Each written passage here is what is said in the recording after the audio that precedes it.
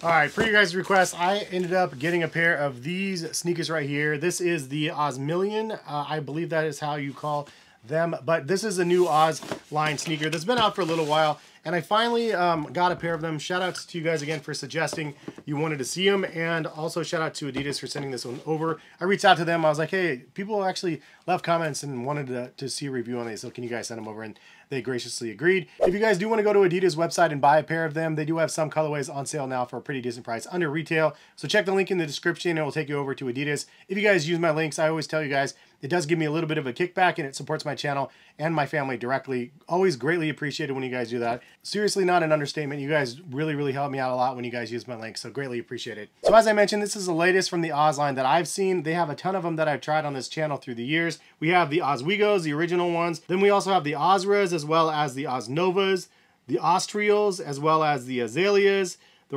Ketros, as well as the 4D Krazed, which is not uh, an Oz sneaker, but it kind of looks like one. Also, we have other things that look very, very similar to like a Retro Runner. We have the Response CLs and the Adistar cushions that I've done a review on. We also have the Retrophy F90s. So we've had a ton of different pairs of like lifestyle sneakers on this channel that I like to just get and see how they are. And this one sits at that $110 price point and overall it's a very comfy, chunky pair of sneakers for you guys to try out. Fit for me personally is true to size. They are kind of a chunky sneaker, so they might have a little bit of extra room in the toe box. Personally, the true to size is the one that I like. So quick overview, the shoe, some words from what Adidas says. It says that this draws inspiration from the iconic 90s design. These Adidas shoes are updated for today with pops of color and breathable mesh upper. Your feet stay comfy all day thanks to the Adiplus cushioning system, absorbing impact with every step. A mix of embossed and de-embossed details deliver a fast, dynamic look that's sure to turn heads. But it's their versatility and comfort that will keep you coming back for more. So overall, the upper I think looks nice as well. This colorway is pretty cool because it's kind of like a black and white and gray colorway. This is one I like. Anyway, I, I like that there's multiple layers, uh, overlays, underlays on the shoes. Adidas does a really nice job just adding contrast to the upper so it's not just a straight cut and leather shoe or it's just not a straight knit shoe. Like they have lots of different models out there that have lots of different variety and this is one of them that accentuates multiple layers. So there's a mesh underlay, and then there's an overlay of like leather, and then another overlay over top of that. Under parts of that, there is the three stripes on the side. Those are done in kind of like a plastic rubber material. And then on the top of those three stripes, you can see that lace enclosure kind of uh, continues on from there. And then you have a leather toe cap and leather that kind of swirls around the heel. There's lots of oval cutouts uh, to the shoe as well. So it's not just a huge piece of leather on one side.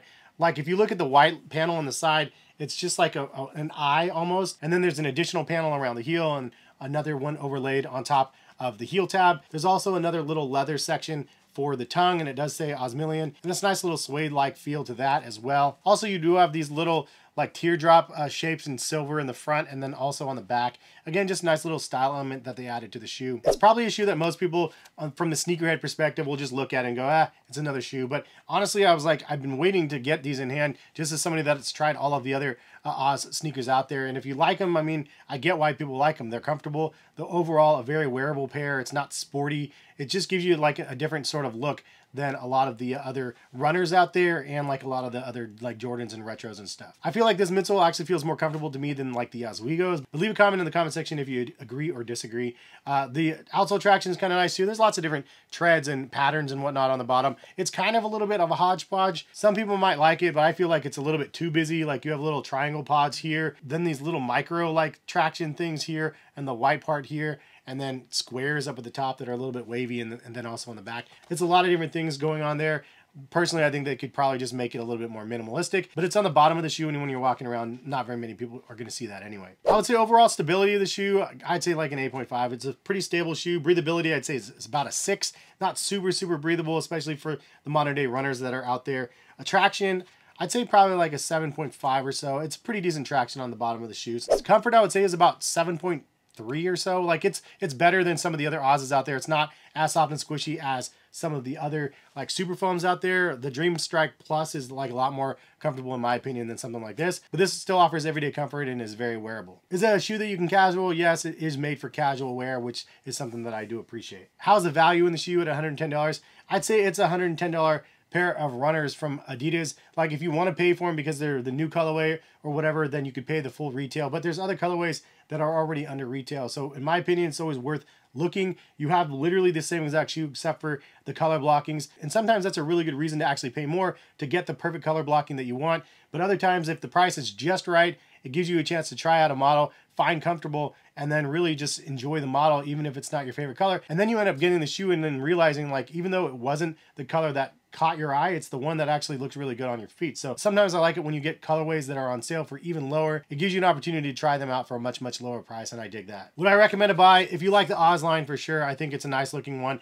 It's a nice addition, especially since they're continuing the Adiplus cushioning in the midsole uh, instead of Adiprene or Adiprene Plus. I like this one better. I also do like that it's a chunky 90s style. I know some people might not like that still. I feel like that circles and the waves to just come right back around soon, but I do like it and I do like the colorways that they have available on their website. One of the things I don't like about the shoe, I guess the overall traction pattern on the bottom of the shoe is just a little bit busy. The colorways, again, like I like. And I would say that the overall weight of the shoe is fairly heavy. I don't know exactly the weight, but so they're 11.5 ounces. It's not a very light shoe, but there's a lot of layers to the shoe to make it where it's 11.5 ounces. Anyway, some alternatives that I would mention other than these. Personally, I like the Ozweego look better. It's a little bit more of a classic look. If you want something that's a little bit more identifiable, the Ozweego is nice. Also, I actually really like the Ozelia as well. That one's one of my favorites. And I think they're going to be coming back out with those again soon. Anyway, thank you guys for stopping by and watching. Hope you guys enjoyed. If you guys want to buy a pair of these, check the link in the description. Have a good rest of the day, and hopefully you'll see you back on the channel for some more content soon. All right, peace, guys.